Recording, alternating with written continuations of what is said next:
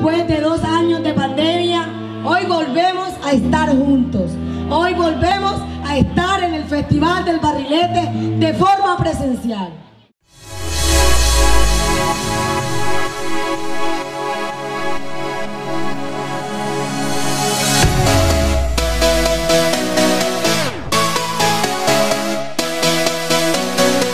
Me parece una actividad muy buena porque podemos compartir en familia, disfrutar de una tradición que tenemos en nuestro municipio de Montelíbano.